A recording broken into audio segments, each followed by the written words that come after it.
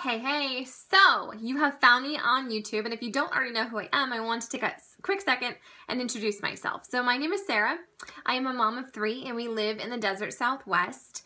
And I have a real passion for helping other moms find their way again. Because for a really long time, I struggled. I struggled really hard with being overweight and being anxious and feeling depressed and eating my feelings and it just it was like the same day over and over it was like groundhog day with little kids underfoot and i just didn't know what to do. I was overwhelmed, I was stuck, and I was just kind of sad. And so I finally found my way, and so now my passion is helping other moms figure it out and give them some of the truth nuggets that I figured out along the way, right? So it's all about finding joy in the journey.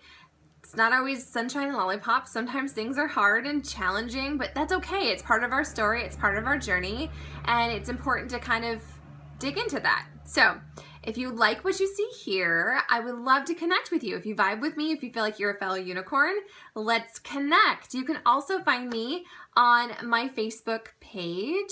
You can find me at Sarah Nelson Health and Fitness, and every Friday morning I go live.